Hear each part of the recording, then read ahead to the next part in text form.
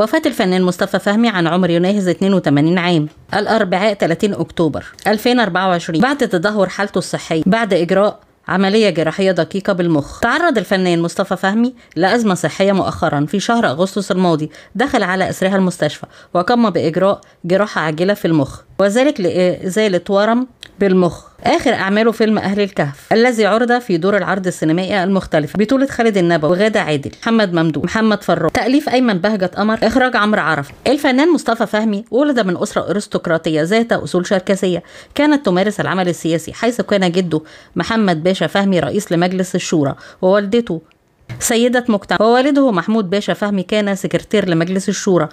كما إن جدته هي أمينة هانم المانسترلي صاحبة استراحة المانسترلي وهو الشقيق الأصغر الممثل المصري حسين فهمي.